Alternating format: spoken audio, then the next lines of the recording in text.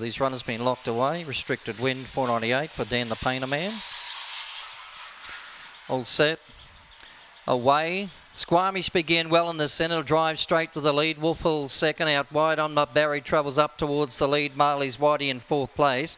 Then followed by Stitches, well back Cryptic Diamond, Bundy run last of all. Wolfhill gets the lead from Squamish. It'll come again, then followed by Marley's Whitey. Then further back we had Cryptic Diamond, I'm Not Barry, Stitches and Bundy run. Onto the corner, Wolfhill still the leader. Squamish comes at it. Wolfhill in front, Squamish and Squamish will win it. I'm Not Barry got second, third place place will go to Wolf Hall, maybe. Uh, yeah, it'll just get third, maybe over Marley's Whitey. Then further back we had Cryptic Diamond and Bundy Run. Three Squamish will win it. I'm Not Barry's come from well back to grab second in a good finish. In 30.06, 30.06 is the run. Squamish, Andrew Willer the winner.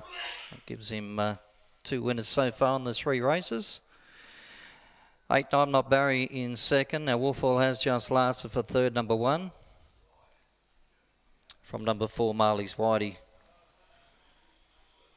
So 3814, 381 and 4. Squamish the winner, Andrew Wooler. I'm not Barry second, Greta Thompson, and uh, Wolfhall number one third for Brad Belford.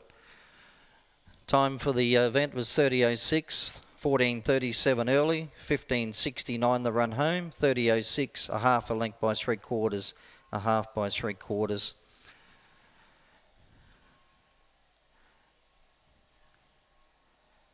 So uh, 3814, half by three quarters, 3006 with splits of 1437 and 1569. Three the winner, Squamish, eight second, I'm not Barry, one Wolf Hall, and four Marley's Whitey.